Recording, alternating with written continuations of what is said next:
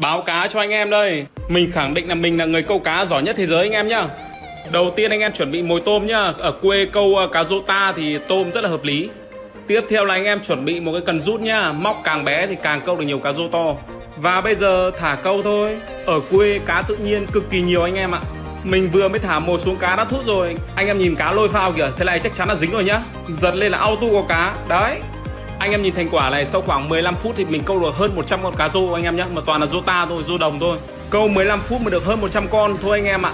Giờ mình về thôi. Theo anh em làm món gì cho hợp lý nhỉ? Thảo chóe, review tung tóe.